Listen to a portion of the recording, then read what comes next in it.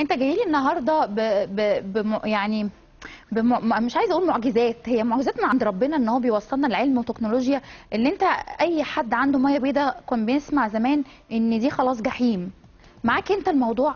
أنا برجعك زي الأول وأحسن. إزاي؟ لأن إحنا عندنا دلوقتي ال technology اتغيرت تماما okay. والتقنيات اتغيرت تماما. ده لما كنا الأول مية بيضاء عشان أسحبها. آه، أنا محتاج ممكن أستنى مية بيضاء تستوي وتتجمع وأفتحها فتحة العين فتحة كبيرة. أوكي. ممكن ناخد مثلا فتحة حوالي سنتي سنتي في العين ده رقم كبير بالنسبة لنا. تمام؟ إلى إن أنا ممكن أفتحها آه، أقل من من ربع السنتي. فتحة صغيرة أقدر أسحبها بطريقة سريعة.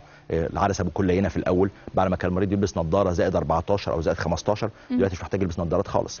فبقى عندنا القدرة إن إحنا نسحب المية بطريقة سهلة جدا جدا. آه، حتى طب إيه الفيديو- رأيك ن... ن... ن... يعني آه نشرح آه. أكتر على الفيديو؟ هو الفيديو ده بيورينا طبعا ال- العين إزاي عامله زي الكاميرا وإزاي العتامة بتاعه العدسة تخلي الإنسان فعلا قال دلوقتي العدسة بقى فيها عتامة فالإنسان شايف قدامه شبورة تمام؟ أو شايف قدامه غشاوة أو ستارة بيضاء أو دخان.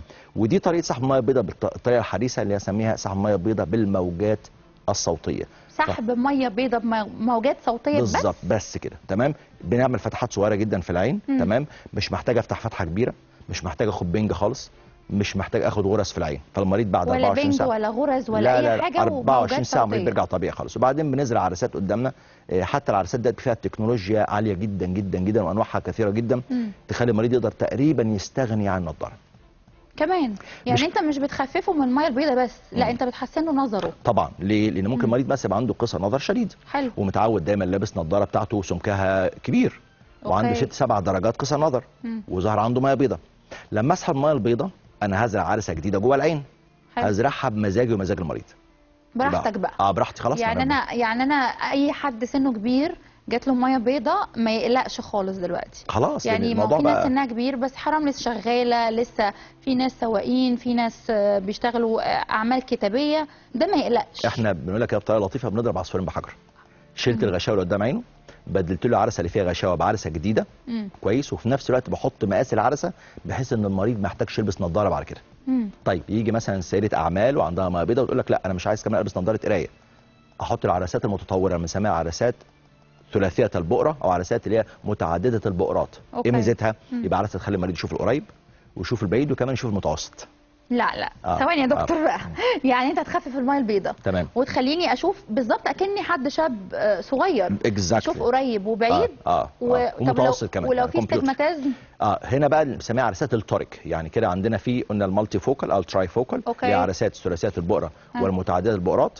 وعدسات ال toric اللي هي بتعالج لي كمان astigmatism وممكن في عدسات بتعالج الاثنين مع بعض فإذا أنا كل مريض هقدر أفصل له العدسة اللي هو عايزها أنا مزبهله آه. لأن إحنا كنا بنشوف يا جماعة اللي عنده مية بيضة ده خلاص أنا كده آه. نظري راح في, في مكان. ومش راجع آه دي وعلى. فكرة أنا بشوفها يعني لما بيبقى حد عنده مية إحنا بنشوفها يا دكتور مش مش بتشاف لو لو آه في لو لو النني بتاع العين فعلا المية زيادة شوية ممكن تحس تبصي على حد كبار السن تلاقي النني بدل ما لونه أسود لأن هو أسود ليه؟ لأن آه. العين ورا عبارة عن كهف جوه مقفول عليه سبحان okay. الله مم. لكن لما تيجي مية بيضاء تبتدي يصحى اللون بياخد لون ال greyish الأول أو رصاصي شوية أو الفضي وبعدين نلاقيها ابتدت تبقى بيضاء فعلا. عشان كده اسمها الماء الأبيض.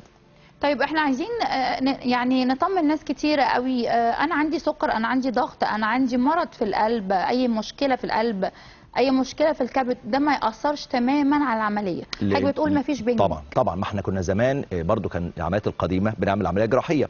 فلازم مريض نقول له من فضل حضرتك أنت هنحتاج نعمل بنج كلي. طبعا. بطلنا الكلام ده خالص. دلوقتي بندي حقن حوالين العين زي دكتور السنان والأحدث كمان ممكن نعمل بدون الحقن. ممكن شوية آه، قطرات مخدرة بنقطعها على العين ونشتغل. زي لا يا دكتور زي, بتهزر. زي عملية الليزر بالظبط. يعني, يعني نفس فكرة الليزر. أحط قطرة ونعمل وأشيل. المية البيضاء ونقعد نحكم على المريض كمان. وأشوف قريب وبعيد و أنت. جايني بمفاجآت النهارده.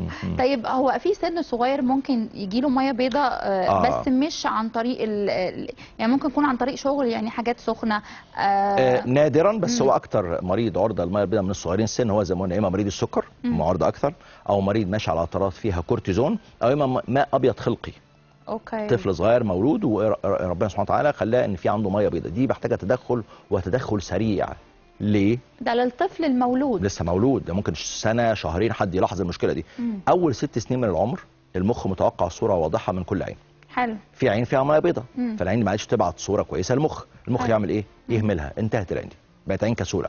حتى لو عملت مية بيضاء بعد مثلا سنة 10 سنين المخ خلاص عود نفسه إن العين دي هو الست خلاص سنين الاولانيين آه كسل العين. كسل لأن أنا آه العين. أهملت العين خالص. فساعتها بننبه الأهل لازم صاحب ميه بيضاء بسرعة. ده بيرجع ان إن الكشف ده لدكتور الأطفال طبعا عشان كده آه. دايما حضرتك لو تلاحظي الأطفال لما يكونوا لسه مولودين بيبقى في دكتور أطفال بسرعة بيبص من ضمن الحاجات اللي بيبص عليها العين آه، لونها أسود مظبوط فيها حاجة يقول لأ روح دكتور العيون عشان نتحرك ونتحرك بسرعة بس لو اتحركنا بسرعة ولا أكن الطفل مولود بال- بالظبط. بالعيب الخلقي ده. بنرجع له عينيه كويسة مظبوط